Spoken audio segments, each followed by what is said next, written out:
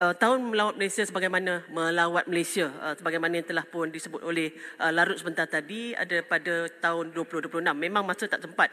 Kita ada lebih kurang masa 2 tahun uh, 2 bulan dan 15 hari lagi untuk kita sampai ke 2026 dan uh, Malaysia tagline kita Malaysia Truly Asian ini sangat mahal. Negara-negara lain sebenarnya mencemburui uh, dengan tagline Malaysia Truly Asia ini. Uh, dan uh, kerana ianya dengan mempamerkan budaya dan juga warisan Malaysia yang penuh kesopanan dan kelembutan kalau menteri-menteri pelancongan dulu dia sambut dengan caranya sendiri. Tapi uh, saya nak bertanya adakah menteri yang jaga motek hari ini juga uh, ada cuba memperkenalkan Malaysia dengan cara sendiri iaitu dengan cara mabuk dan menari di halayak ramai? Adakah ini uh, cara kerajaan madani yang nak ditunjukkan kepada orang luar? Saya nak tanya adakah ini ada cara yang tepat? Bukannya sekali tapi banyak kali. Terima kasih.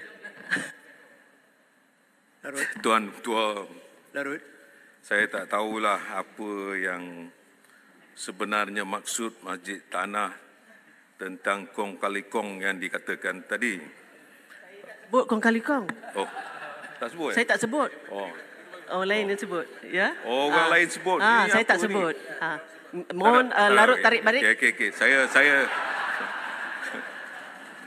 uh, oleh kerana itu saya tarik balik, uh, Tuan Ketua. Uh,